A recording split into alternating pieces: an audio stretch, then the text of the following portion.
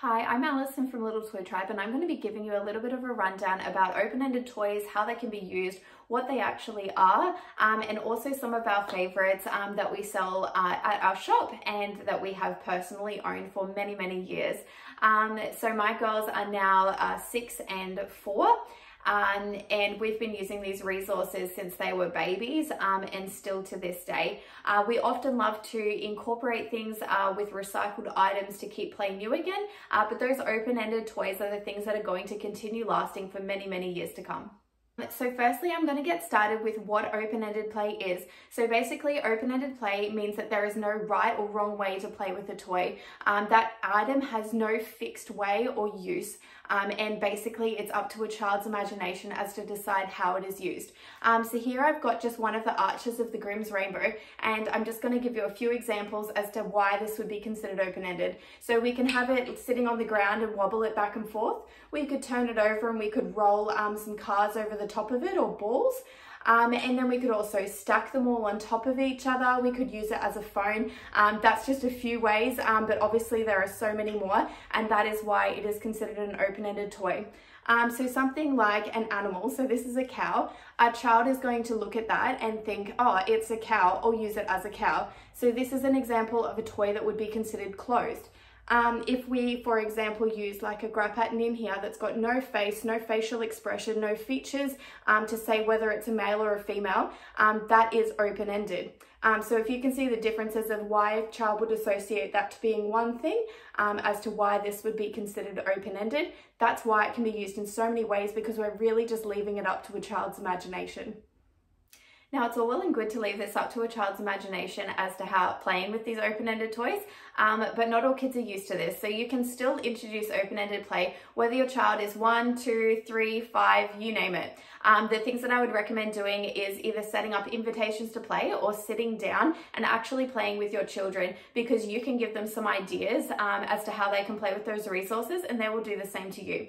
Um, so a little example that I've got for you is we bought these little lucite cubes um, about a year ago now. Uh, and I sat down with them and started stacking with them in the sun and looking at the refractions and everything and they were beautiful. Um, and that's what I was thinking of doing with them. Uh, but the girls actually took these and decided to start making a jelly shop. Um, so they have been well loved in our home for like over a year now and they continue to come back to that jelly shop. Um, and it's so good for their learning. Um, obviously when you're like role playing, you're talking about numbers, counting, um, you're sharing, so you're cooperating with each other. Um, there's so many different ways.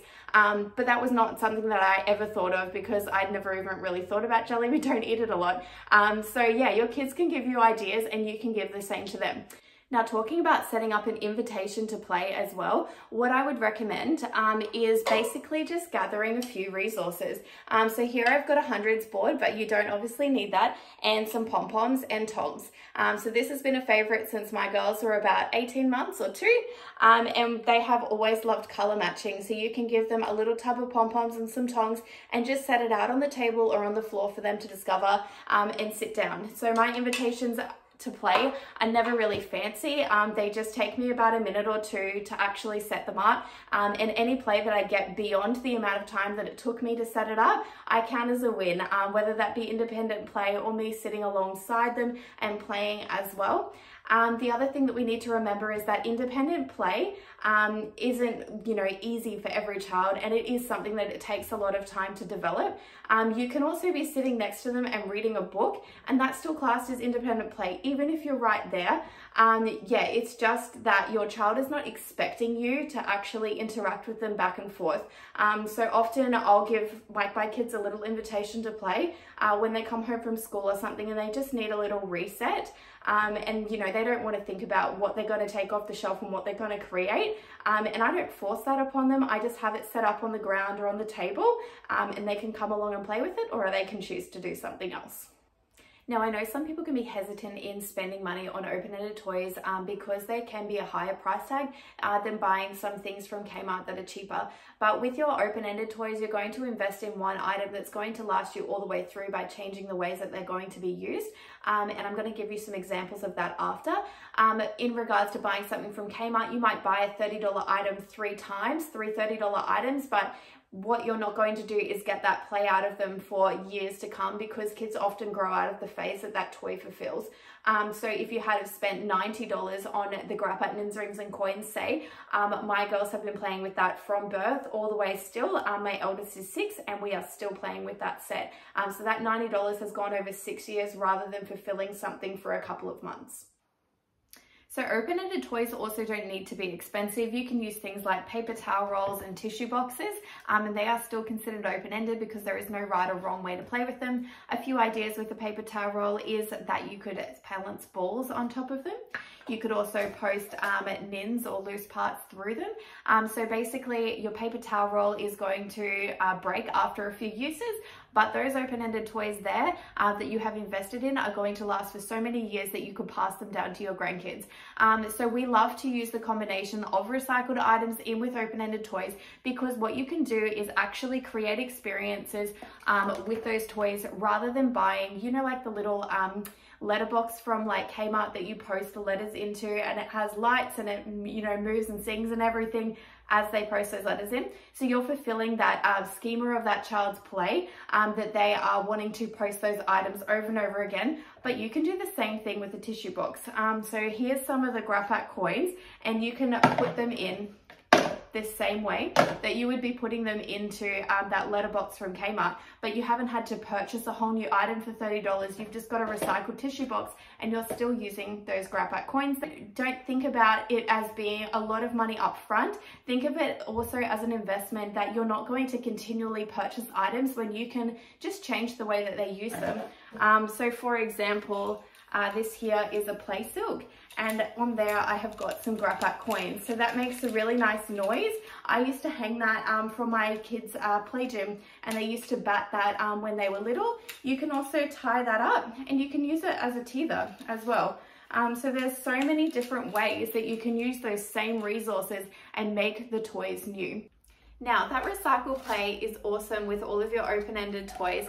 There are so many of these things that can also be replicated in the nice quality versions of um, toys as well. So this here is the Totley box and it is a great um, object permanence box and it is one of my favorite baby play items because so many of those recycle play elements are incorporated into this box and it is really nice, um, good quality and aesthetically pleasing as well. So remember as well that when we first started open-ended play, um, all of our toys were in our living room. Um, so it, it, was a nice, a lot nicer to sit down and look at something that was a well-made toy than it was to look at all of the egg cartons and tissue boxes and things like that. But they do serve the purpose. So open-ended toys don't need to be expensive, um, but they are definitely reasons that they can come in handy. This can be passed down for many, many children as well. Um, whereas your recycled tissue boxes and paper towel rolls, um, milk bottles, all those kinds of things, um, you're going to just have a few uses out of them before you recycle them. Totally box um, incorporates so many of those elements. There's different places um, that you can post things, um, which is something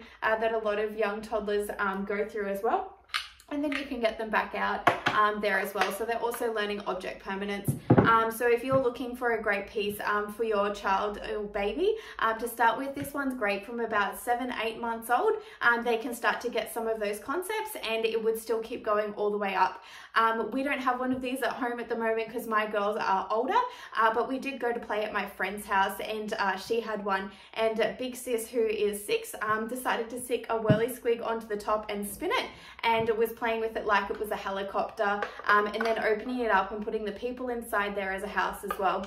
Um, so again, you can see how a child's imagination can make most things open-ended. Now, another thing to remember is that open-ended toys can also be used in combination with other things um, like some favorite figurines. Um, my girls really love Bluey and the thing that you can do with them is you can make all different kinds of houses and things like that with them. Uh, for the people, you could make school, you could make the cafe. Um, so those open-ended toys are a great base if your kids have an interest in some figurines and things like that. It doesn't matter that they're not all open-ended toys. You can definitely incorporate all of those things together and that's the beauty of them.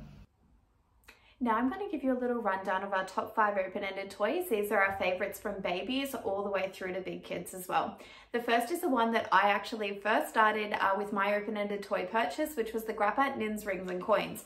Um, so here I've got them just tied onto a play silk, um, so which is great as a little grass bar or hung from their baby play gym. Um, the other thing is the coins and then the little nins as well. Um, we often use the nins for posting when they were little as well and they're now used a lot in small world play. Um, the coins, they love to stack them up, use them as currency in their shop. Um, the rings obviously are for threading and you can do lots of pattern making and things like that as well and making mandalas. Um, so that's a, a great set that will continue to get used for many, many years to come. Number two is play silks. I've got one tied there onto the ring um, and another one here. So you can put them into tissue boxes and pull them out. Uh, you can play peekaboo with them. They're great for dancing. Uh, you can tie them into a little doll carrier, lay them down on the floor. You can use them as grass or water um, in small world play. Um, so yeah, again, a lot of ways that those can be used. Um, number three is balls. So I've got a wooden ball there. I've also got some pom-poms, which are great in combination uh, with tongs for some fine motor work, um, color matching and things like that as well. Um, your wooden balls are great for rolling around um, the floor and you can also um, incorporate them into things um, like stacking bowls and things like that when they're little and those stacking bowls can be used again later when they're older. Mine still use them in cooking and sensory play and things like that as well. Um, the next one is blocks. Um, so babies will love to stack them up and knock them down. So that's a great cause and effect um, activity. And then you can also, um, you know, they'll build castles and things like that when they're bigger. Um, and those blocks uh, will not disappoint. They will last for so many years that you can pass them down to your grandkids. The next one um, is Connetix tiles. So magnetic tiles are great because you can build all different things with them. Um, so you can make houses, uh, garages, um, you can build really, really high uh, bull runs and things like that. There's so many ways um, that you can use those Connetix. The other thing that we love to do is write on them um, with chalk markers. Um, so you can make little sums and, you know, simple CVC words and things like that as kids get older. So there are so many ways that you can play with magnetic tiles. And they are one that I would highly recommend. Now that's the end of my top five open-ended toy recommendations, but obviously there are so many more. Uh, those are just my top picks and my absolute favorites. On the next slide, I'm just gonna put a little uh, slideshow to show you how those toys can be used from babies all the way through to big kids um, that I can't quite show you on video. Um, so keep watching uh, there. And if you have any questions at all, please do uh, just reach out via Instagram or email. We're more than happy to help uh, pick some resources for your little ones. So here's a little look at our top five open-ended toys. These we personally own, stock, and we just get the most use out of these open-ended toys. Uh, so they would be the Grapat Nins Rings and Coins, Play Silks, blocks, magnetic tiles, balls, and stacking bowls, um, as well as pom-poms in there as well. The first is the Grapat Nins Rings and Coins I'm going to talk about. This was our first open-ended toy purchase when my oldest was 15 months old. She's six this year and we still play with this same set of loose parts pretty much every day. These sets are so versatile, they can be used in a variety of ways for children of different ages and stages by just changing uh, the way that you set them up or present them as well. Uh, the most simple ways that they can be used is for color matching, sorting, stacking, threading, but there's so many more. Here's just a little look at some baby play ideas. Um, so you can hang them from your baby play gym for them to bat as well as learning to grasp those rings as well. We love to incorporate them with some ribbons and play silks as well to tie them into different places. And the one in the bottom right corner there is sticking them onto contact, um, so taking them on and off as well. Uh, here's a few more. So posting uh, babies will start to enjoy from about eight to 10 months old. Um, and you can start with a bigger hole and then slowly make that smaller uh, so that they learn to maneuver that as they start to master that skill. Uh, putting them in and out um, and making it a little bit harder or trickier as well is really well enjoyed for this age group. Some toddler play ideas in a muffin tin. Uh, the sound of the metal with the wood um, is really nice, and you can do some color matching in there um, as well. There's lots of DIY play ideas you can see on the bottom left. That is just some baby wipe lids that have been colored, um, and then putting them onto mug trees as well. So you're going horizontal instead of vertical. Uh, for older kids, they'll enjoy stacking them. Uh, you can do some pattern making. Um, mine really love to make mandalas, and you can thread them onto uh, the play silks and take them off again as well. And also just remember that the older children will also enjoy some of those younger ones. Um, every time we get out the recycled items, my kids still go for um, posting and putting things in and out, um, even though they're older. The next one is play silk. So you saw a couple ideas over there. There's so many things that you can do with them. Um, we've owned ours for many, many years and they are without a doubt used daily as well. Um, I grew our collection by starting with a couple of silks. Um, we started with like blues and greens that could be used as like uh, water and grass and small world play, but also for lots of the other ideas that I'm about to show you.